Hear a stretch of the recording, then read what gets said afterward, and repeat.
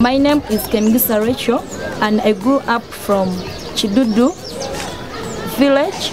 After going for the mentoring program, then I learned that rabbits I had can do something better to me. That's why I got the knowledge sell some of them. I bought chickens like 35, I bought goats too, I bought a cow. I have right now a cow and it's that knowledge that I got from the Raising Star Mentoring Program.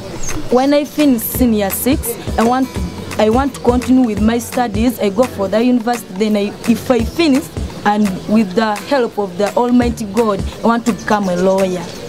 After the Raising Star Mentoring Program in November 2015, the business that I had, I got knowledge to to get money from it. Some I, I take it for the banking, the bank.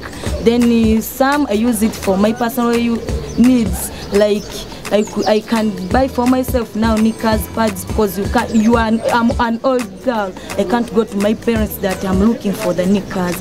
Then that those ones I, I started to provide for myself.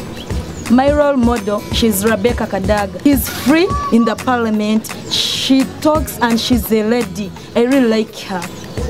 I'm a rising star and have developed into a confident woman.